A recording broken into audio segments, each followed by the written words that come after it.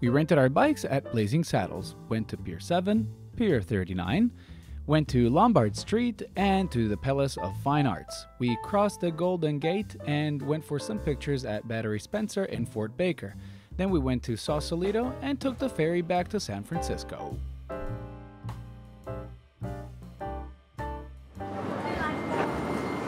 It's $8.50 uh, per hour. Every uh, bike needs like a security deposit, and that's $100 per bike. And you see these rails right here? Lift your bike, put it on that hinge, and then you have to connect this.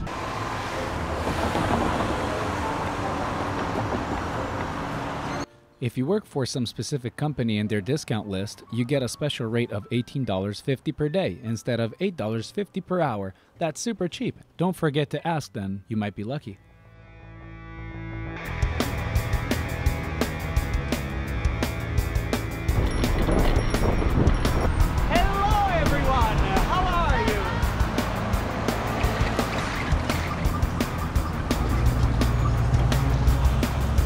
Pier 39 was opened on October 4, 1978. Used to be a dock for boats. Now it's a shopping center and a popular tourist attraction. From the pier, one can see Angel Island, Alcatraz Island, the Golden Gate Bridge, and the Bay Bridge.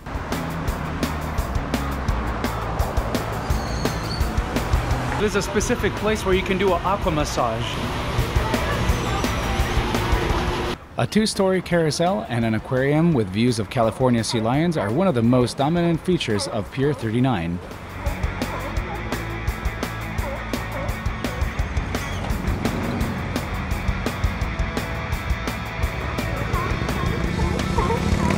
Alcatraz again, right over there.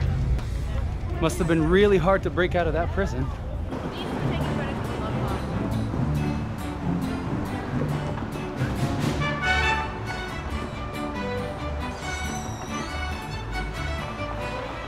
Now we're going to a very beautiful street. It's called Lombard Street. You see that cable cart? That's something really characteristic from uh, San Francisco. And this is one of the most uh, peculiar streets in San Francisco because it goes down at an angle of 30 degrees. Goes up and down, up and down, zigzag. Let's go. This is the famous cable cart. Hi. This side looks like Need for Speed Underground. Lombard Street is famous for being super steep and with eight hairpin turns. It's claimed to be the crookedest street in the world. It is a major tourist attraction, receiving around 2 million visitors per year and up to 17,000 per day on a busy summer weekend.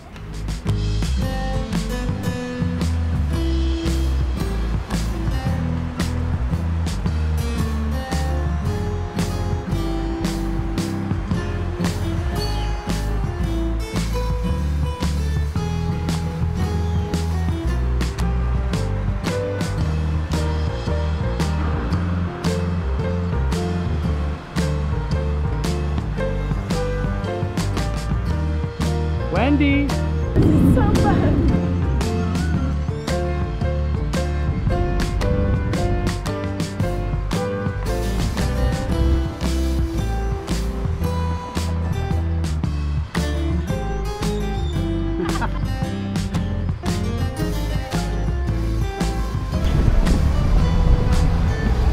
Ocean should be on the left. Why did you take us to the? It's so bad, guys. This building right here is the Palace of Fine Arts. Recommend coming here. It's really nice. Taking some pictures. Come on, let's go.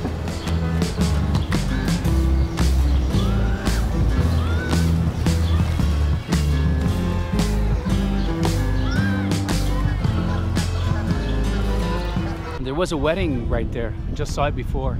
There's a couple, a white dress. Really, this is a perfect location for it, I guess. And the villas around are really beautiful and all different architecture. Like some of them are are Victorian, some of them are like new style. Like the Palace of Fine Arts was originally constructed for the 1915 Panama Pacific Exposition in order to exhibit works of art. Other than art exhibitions, it's a popular attraction for tourists and locals and is a favorite location for weddings and photo shoots. The series Sense 8 and Alfred Hitchcock's Vertigo were shot along other films here.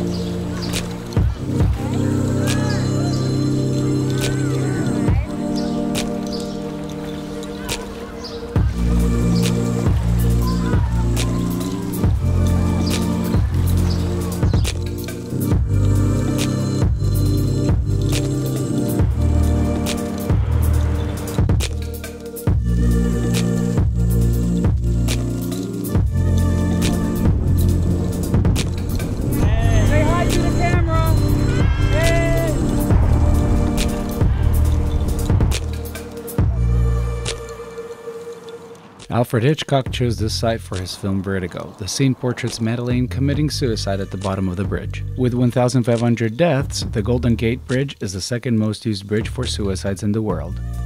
So how do you like that view? Getting here wasn't extremely easy. You can do it, but when you're nine bicycles, nine different people with different personalities and physiques, it's not that easy. Wow, it's fantastic. This side over here to my left, that's the Pacific. And the other side is San Francisco and the little island of Alcatraz.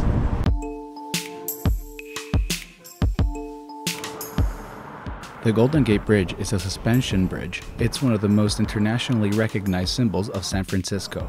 Total length 2,737 meters, width 27.4 meters, height 227.4 meters, opened on the 27th of May 1937. The Frommer's Travel Guide describes the Golden Gate Bridge as possibly the most beautiful, certainly the most photographed bridge in the world. Battery Spencer was a strategic defense outpost during First and Second World War. The area is a tourist attraction now. Dramatic shots of the city and the Golden Gate Bridge together can be unique. If you have time, go uphill and visit Marin Headlands Vista Point. That's the spot where Schwarzenegger and Terminator was filmed.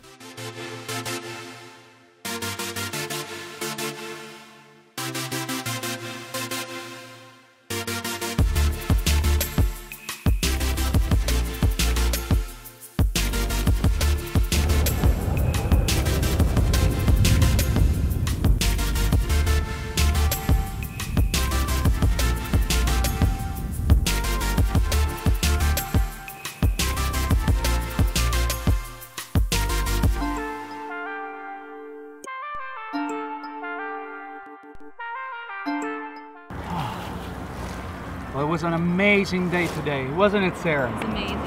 So now we're in Sausalito, and from Sausalito, you can see San Francisco. It's amazing. And it smells like, like sea, like the sea smell. I love it. And to top it all off, good old beer. Cheers. Cheers.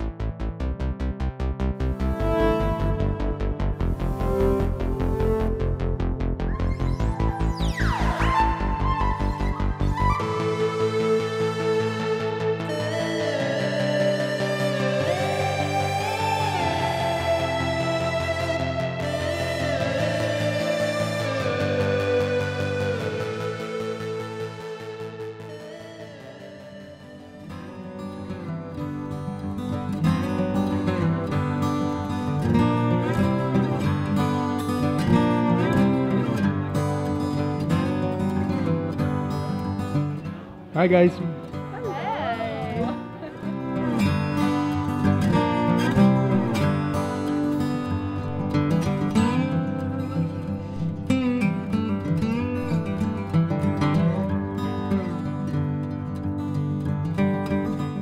There's two options to get back to San Francisco.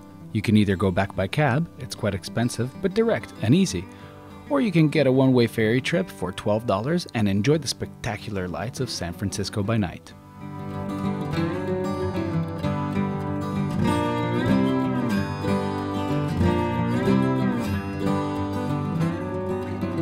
So the conclusion, definitely visit San Francisco. I love that city. Thumbs up for it. I hope you liked the video, and I'll definitely see you on my next video. Bye.